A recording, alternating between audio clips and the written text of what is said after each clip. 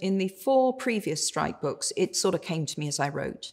I would, because I'm writing on a bit of a lag, which is actually um, has been a relief to me because I can do at least one or two more books before I have to deal with the pandemic, which I think for a lot of crime writers is going to be a, a real challenge. I tend to look up what was current at the time to see what would have been playing on the radio.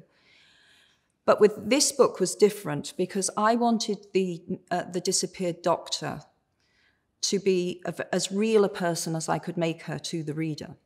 And I thought, um, what would she have listened to? What artists would she have liked?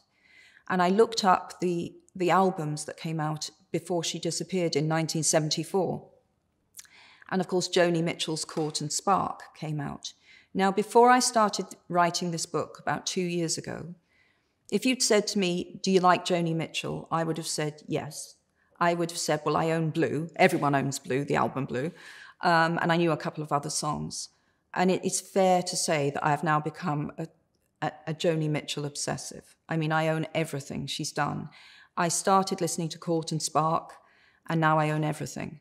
So that that's never happened to me before. That I, I find something through the writing that then becomes a real personal passion. But um, her her music weaves its way through the book. Um, and in the process of writing about Margot's love of Joni Mitchell, I ended up completely in love with Joni Mitchell.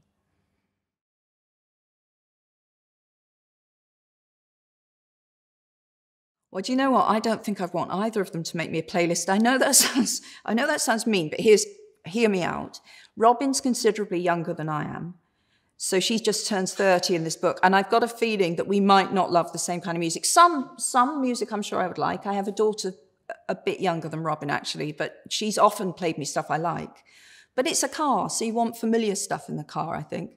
But Strike, now I've known since I created the character that his favorite artist is Tom Waits because his mother was a big rock and roll groupie. So obviously he had to go somewhere different. He's not going to be into heavy rock. He's got to find something of his own. And although I actually love Tom Waits, I'm not sure I want the whole car journey to be Tom Waits. So maybe both of them together and I'd end up hitting something I liked.